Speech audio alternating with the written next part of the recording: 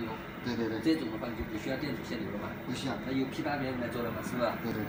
OK，那这样的话，你这个产品现在你只是是调出了一个基本功能，是吧？现在这这个产品拿出基本功能，试过了，功能都都有了。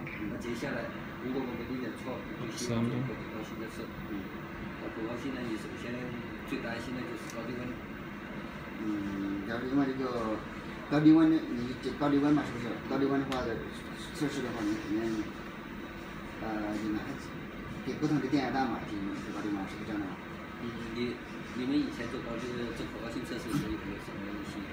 你你高低温的话，我意思是高低温测试，这然后在你们再再分别以不同的电压单。啊，这个我会，对，因为我先听听你的，因为我我有我。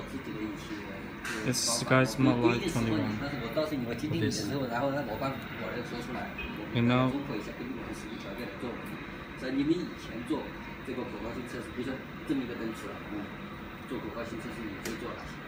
we started that uh, network. 呃，高低温是最必须嘛。哦，office network. 高低温的话，你肯定是比那个加一定湿度在里面，是不是？高低温还有那个湿度，我们现在加百分之几十是百分之九十了。百分之九十五啊，我们通常也会做到这九十八这种的高的湿度，湿热的情况下，九十五是最基本的。这个高低温测试，嗯，然后就是一个呃老化测试，老化测试就从八十五到二百六十五伏，这个电压带，啊，你可以设八十五。一般的话啊，至少是，我们以以前的话，至少是要做做，好每个电压站至少要做三个小时以上，嗯，至少要做三个小时以上。Office network。然后每个电压站做的时候，分别再进行一个开关冲击，嗯，还有定时器开关的开关冲击。我八十五分钟的下，点灯一段时间，差不多点够一两个小时以上之后，再就这个电压器做一个开关冲击。再调到一百中间电的，就是一百一十伏啊，一百七十伏再做一次。嗯，以前的是我们是不是不做前前电压的话，是做一百七到二百六十五嘛？对。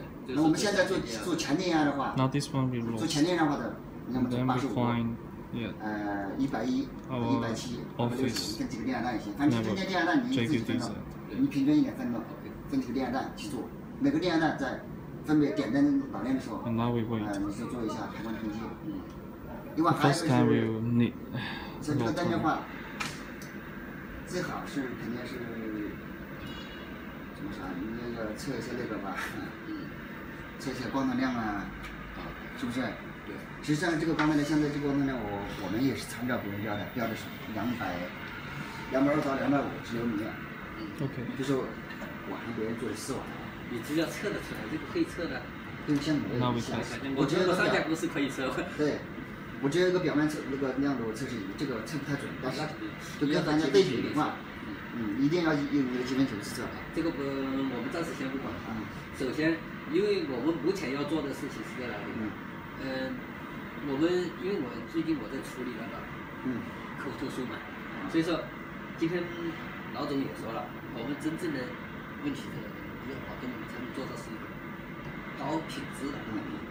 那么高品质，我们首先第一保证它不坏，啊，是吧？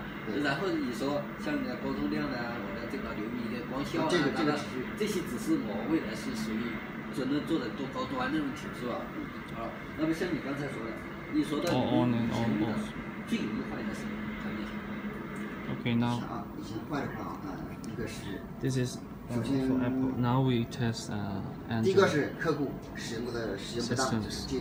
一通电上好坏的就是接错的线的。好，那先不管它，我们只是从设计的角度考虑。我最容易坏是在哪里？最坏的设计的什么？啊。Also connect.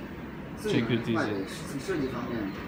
可从不不不不叫设计吧，就是说从我们公司内部的检测来来说，因为到用户那里的话，他接错了，那些东西是人为损坏，我就不没得说了。嗯。就是说，比如说你像刚才说的，你这些基本功能。那你是在是就是在通电使用的时候坏。对，是就是使用一段时间后悔，在我设计校验的过程中，很快的啊。因为你像我们打浪涌啊，做十二级的时候，嗯，你打一个高压进去雷雷击，我如果我一雷击它就坏了，然后我后面其他的测试我就没必要。